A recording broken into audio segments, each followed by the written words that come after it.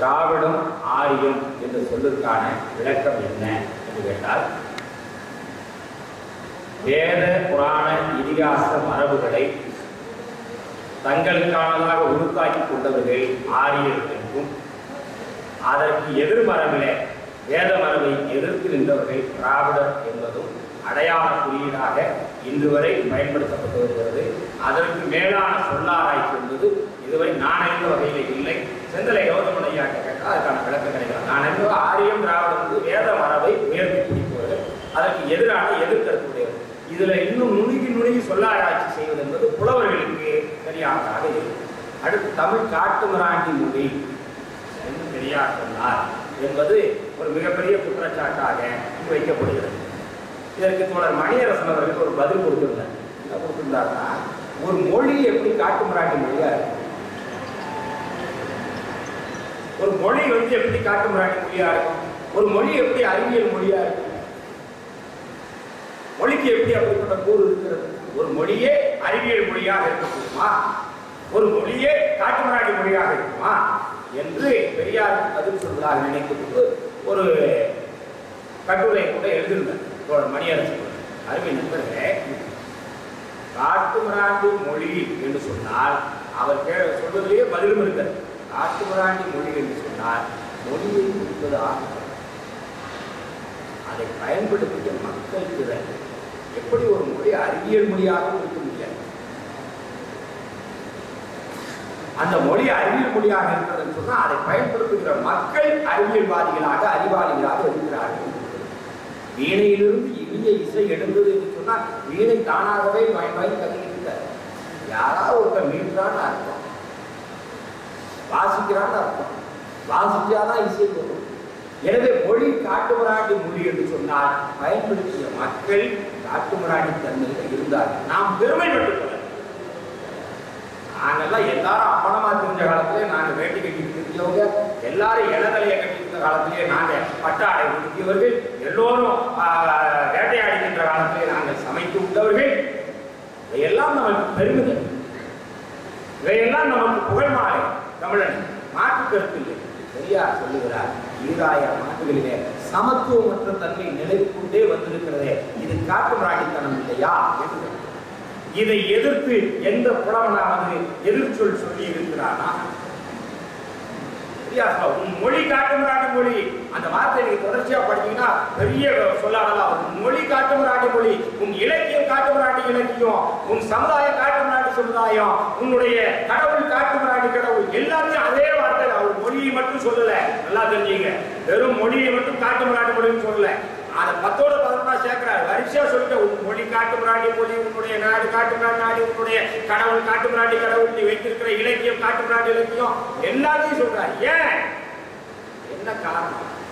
பிறப்புக்கும் எல்லா உயிருக்கும் திருவள்ளுவரே சொல்லிட்டார்.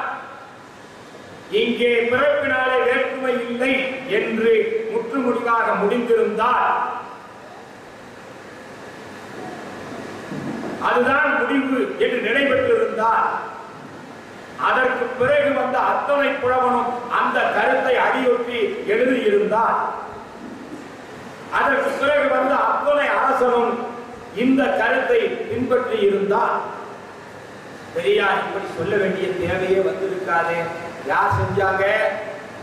ஏ ஒரு திருக்குறள். சமத்துவத்துக்கு எங்கேயா இடம் இருக்கு தமிழ்லன்னா ரெண்டாயிரம் வருஷத்துக்கு முன்னாடி போறாங்க. வள்ளுவர் என்ன சொல்லிருக்கா தெரியுமா? பிறப்போக்கும் எல்லா உயிருக்கும்னு சொல்லி இருக்கிறார் வள்ளுவர் சொல்லிட்டாரு.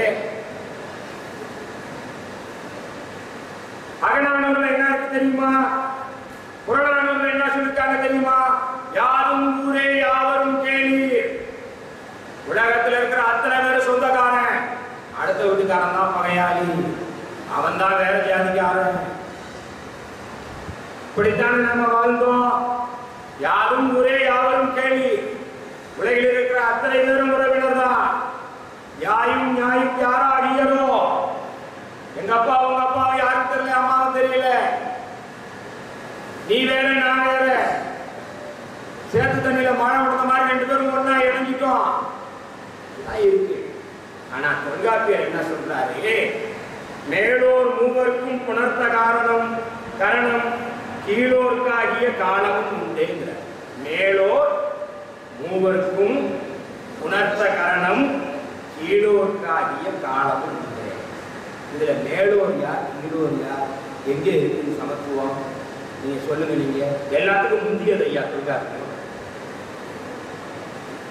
மேலோர் என்னென்ன காரண காரியத்தை செஞ்சானோ என்னென்ன செயலை செஞ்சானோ அதெல்லாம் காலப்போக்கில் கீழோருக்கும் வந்துச்சுங்க அப்ப கீழோர் யாரு? மேலோர் யாரு? சொல்லிக்கலாம் அவன் பிராமணன் சத்திரியன் வைசியன் சூத்திர. இது அவனுடைய இது உன்னுடைய என்ன சொல்லுது? அரசர் அந்தனர் அரசர் வணிகர் வேளாளர் இப்படி சொல்லிட்டா தீர்ந்து போச்சா? இது நியாயமா? இது சரியா? அவன் பிராமணன் சத்திரிய வைசிய சூத்திர. நீ என்னையா சொல்ற? நாங்க அப்படி சொல்ல மாட்டோங்க. வேற எப்படி சொல்லுவ? அரசா அந்தனர் அரசர் வணிகர் சூத்திரர். ஆ, இது அடுக்குமுறை இல்லையா? இல்ல இது தொழில் பெயர் தானே தவிர இது தொழில் பெயர் தான். பிறப்பின் அடிப்படையில் இல்லை என்று சொன்னார். அருமை நண்பர்களே வாரிசு அடிப்படை இல்லாமல் அரசனான மன்னன் எவன்? எனக்கு சொல்லு. பிறப்பின் அடிப்படையில் இல்லாமல் மன்னனான ஒரு ஆளை காட்டு அரசன் என்பது தொழிற்பெயரா அந்தன் என்பது தொழிற்பெயரா சிந்திச்சு பாருங்க நீங்க. நம்ம சப்ப கட்டு கட்டிக்கலாம். இழுத்து கட்டி வச்சுக்கலாமே தவிர நம்மிடத்துல இந்த சாதிய கூறு ஈராயிரம் ஆண்டுகளாக இருக்கிறது. நாயக்கர் ஆட்சி காலத்துல வந்தது என்று சொன்னார் ஐயா புலவர் அவர்கள். கெட்டிப்படுத்தப்பட்டது உறுதிப்படுத்தப்பட்டிருக்கலாம். ஆனால் சங்க இலக்கிய காலத்திலிருந்து மேலோடு இட்டார் பெரியார் இடாதார் இனி குலத்தார்னா இனி குலத்தார் யாரு? கொடுக்காதவன் இனி குலத்தார் ரைட்டு அப்ப இனி குலம் ஒண்ணு இருந்திருக்கா இல்லையா? யார இனி குலம்னு சொல்லி வச்சிருந்த நீயே? யார இனி குலம்னு சொல்லி இழிகுலம் என்று ஒன்று இருப்பதனாலதான் அதை சுட்டுங்கிற ஒரு சொல் வருகிறது. அப்ப இத்தனை ஆண்டு காலமாக நிலவி வந்ததை வள்ளுவனை வள்ளுவனால் அன்போடு நீங்க ஒன்றுமா கண்டிச்சாரு. நீ எங்க கண்டிச்ச? எங்க சொன்ன? அதுக்கு பிறகு இத்தனை ஆண்டு காலத்துல இதை எதிர்த்து கேட்பதற்கு எதிர்த்து பேசுவதற்கு இன்னும் சொல்ல போனால் ஒரே ஒரு செய்தியை சொல்லி முடிக்கிறேன். இங்கே இத்தனை மன்னர்கள் ஆண்டிருக்கிறார். இத்தனை மன்னர்கள் ஆண்டிருக்கிறார். எல்லோருமே சேரன் சோழன் பாண்டியன் பல்லவன் கடம்புரன் எவ்வளோ மன்னர்கள் இத்தனை மன்னர்களுக்கும் ஒரு சட்டம் இருந்திருக்க வேண்டும். அவன் ஆட்சி அதிகாரம் நீதி நிர்வாகத்தை செலுத்துவதற்கு ஒரு சட்டம் இருந்திருக்கணுமா இல்லையா? அது இருந்தால்தான் ஆட்சி செய்ய முடியும். இங்கே சேரனுக்கு ஒரு சட்டம் சோழனுக்கு ஒரு சட்டம் பாண்டியனுக்கு ஒரு சட்டம் இருந்ததா? அல்லது இவர்கள் அத்தனை பேருக்கும் சேர்த்து பொதுவாக ஒரு சட்டம் இருந்ததா? இவர்கள் நீதி நெறிகளை எதன் அடிப்படையில் வழங்கினார்கள்?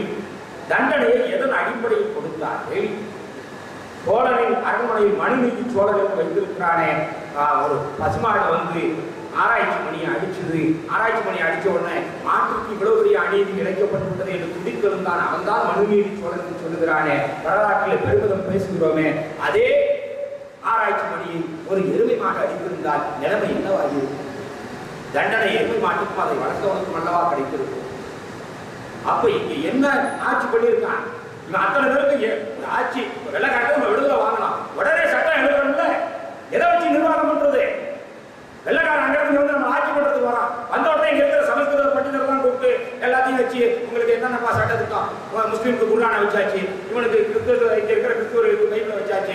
உனக்கு என்ன வேணும்னா சமஸ்கிருத இலக்கியத்தெல்லாம் கொண்டு வந்து போட்டுனா எல்லாத்தையும் ஆராய்ச்சி பண்ணி அவன் சட்டம் எழுதலாம்ல அப்போ இத்தனை மன்னன் நீங்க ஆண்டிருக்கிறானே எதை வச்சு ஆண்டா மனுநீதியை வைத்து ஆண்டா மனு தர்மத்தின்படி ஆட்சி செய்தான். மனுநீதி தவறாமல் ஆட்சி செய்வதையே பார்ப்பன தர்மத்தின்படி ஆட்சி செய்வதையே தன்னுடைய பெருமையாக கருதினார் இதை ஆதரித்து போற்றி உலகாங்கிதம் அடைத்து புகழ்ந்து எழுதியவர்கள் தான் புலவர் பெருமக்கள். இதை எதிர்த்து ஒரு கண்டனம் கூட தமிழ் இலக்கியத்தில் இல்லை பெரியார். காட்டுமராண்டி மொழி சமத்துவத்தை வளர்க்காத சமத்துவத்தை ஏற்காத சமத்துவத்தை மறுக்கிற மனு சட்டத்தை எதிர்த்து கிளர்ச்சி செய்யாத மொழியை இகழ்ந்தார். நீங்கள் நினைச்சு பாருங்க.